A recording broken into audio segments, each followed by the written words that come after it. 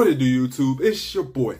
Hey, yo, no, come back to y'all with another Tex Nation fan talk. Y'all already know what time it is today. I'm coming at y'all with some voluntary training camp videos, some top 30 visits of the Houston Texans, and some sound bits from Tytus Howard, Lovie Smith, Tavierre Thomas, and Desmond King Jr. If you enjoyed this video, go ahead and hit the like.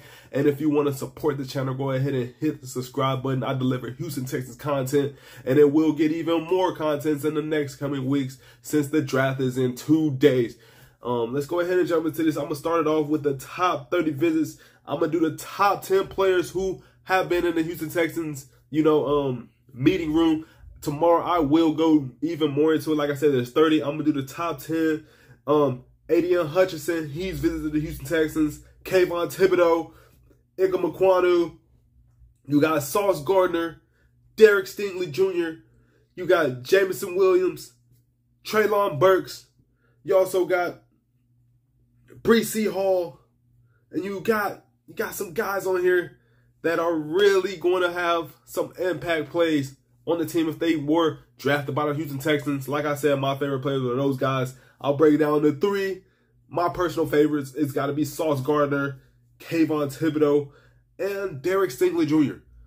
I'm a defensive guy. I think defenses win championships, and that's really what it is. That's really how you how you win games. And that was really our weakest point last year, in my personal opinion. I know people want to get Ikem Ekwonu, they want to get Evan Neal, they want to get Kyle Hamilton. So y'all let me know in the comments who would y'all like for the Houston Texans the draft with the third pick and the 13th pick. Like I said, tomorrow I will do a even more dive into the top 30 guys, and I will even drop a mock draft, my final mock draft before the Houston Texans have their official 2022 NFL draft. Um, some sound bits really from Smith. I'm not gonna do too many of them. He basically talked about Tytus Howard. When you have a team guy like Tytus, it doesn't matter we'll figure that all out when they asked him about if Tytus Howard was going to be playing at right tackle. Honestly, that that sucks because they're not committed at Tytus Howard playing right tackle. They're talking about Tytus Howard can play guard, he can play tackle. Come on now, if we're being dead ass honest, Tytus Howard wasn't the best at guard. He's better at tackle, better at right tackles. And um, I really think that the Houston Texans need to just stop playing with this dude's position. Tytus Howard has even stressed that he wants to play right tackle. He's a tackle. Um, they got to be committed. They're probably not being committed to saying, hey, we're going to keep him at right tackle because we do have the third pick and you want to keep teams guessing. You don't want teams to know, hey, the Houston Texans are going to draft Ekwonu, you know, or or Kayvon Thibodeaux, any of those top guys. You want to keep teams who are behind us guessing because, you know, we have all the power in this draft, man. We really do. And as y'all have been seeing, I do have the Houston Texans in their voluntary training camp practices right now. Um, Davis Mills is slinging that thing. He's doing very nice with the players. This is going to be his second year in the system. Really, first official official year at Pep Hamilton's system. Um, Pep Hamilton had a very nice stint with the Indianapolis Colts, but this time he is really calling the shots, along with Lovie Smith calling the shots again. You know, he had a stint with the Tampa Bay Buccaneers his best stint with the Chicago Bears.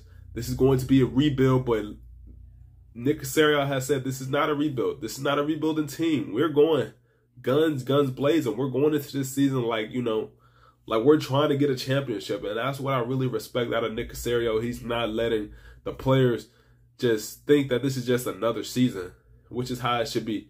It's good that Nick Caserio is really letting these guys know that we're trying to win some games and that's how it should really be, especially for the fans. Um,